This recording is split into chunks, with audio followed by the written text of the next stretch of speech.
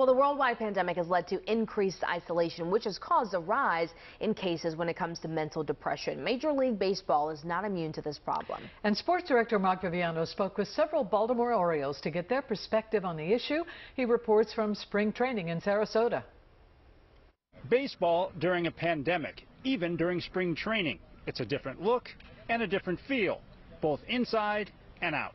Inside the Orioles Sarasota facility, under tight security and strict health protocols, fenced off from fans and the media, players work in socially distant groups. Some sent to a separate facility across town to ensure more distance. They get daily medical screenings, do their workouts, and go home. No socializing in the locker room.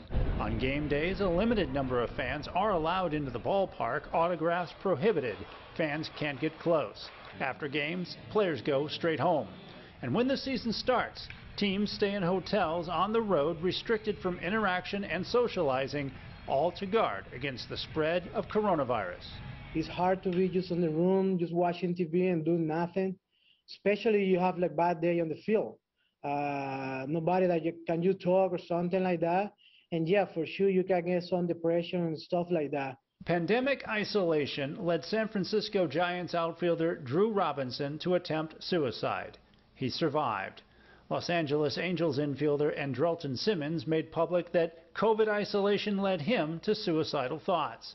Orioles first baseman Chris Davis says he cried when he read of the suffering of his fellow big leaguers. And it's like, you know, what are we doing here? It's there have to be more conversations about things like that for there to be any sort of progress or any sort of solution. And it's not only the players who feel the effects of pandemic restrictions. Orioles manager Brandon Hyde shares with me his struggles. It's not easy. Uh, I saw my wife and kids, uh, I think two days in the in the three months I was gone, um, and yeah, it was it's extremely hard. It was extremely hard for everybody. That's something that we do talk about.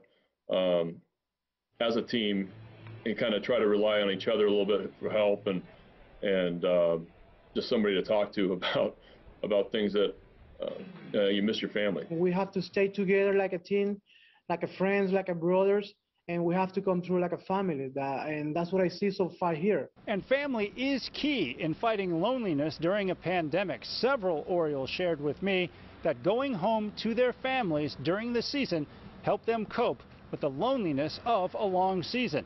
Outfielder Austin Hays told me that his wife travels with him to road games, something she has done throughout his career.